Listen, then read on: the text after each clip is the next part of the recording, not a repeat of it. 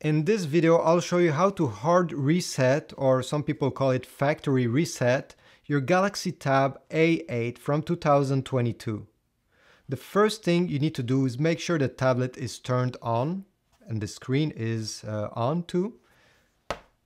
Turn it on the side and here you see the power button and the volume buttons and you need to keep them pressed at the same time. Keep them pressed until the screen goes dark. Now release the volume down and press the volume up button while you still keep pressing the power button. Keep them pressed. And when you see the Samsung logo again, release both of them.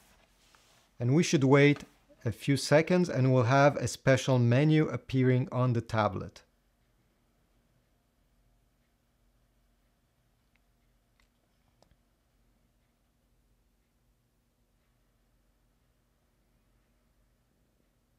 Here we go. This is the special menu I was talking about. Here you'll see there are many options.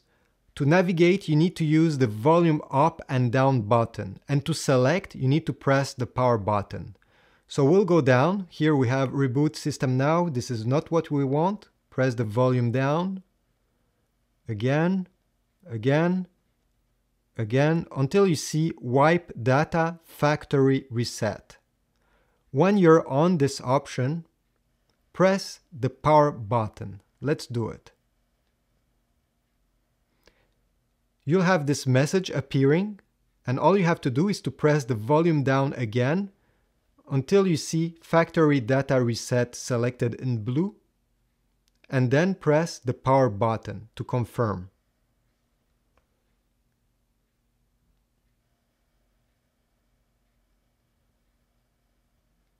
So this is it. I hope this was useful. Please leave a like, subscribe, and I will see you in the next one.